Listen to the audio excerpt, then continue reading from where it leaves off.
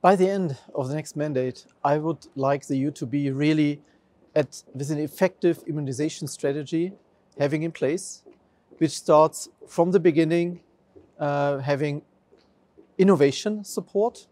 Uh, everything starts with innovation, um, that there is a framework in which effective research and innovation can be done. Second element is, for me, that there is also a clear uptake of those vaccines which are developed by the member states. We may need targets.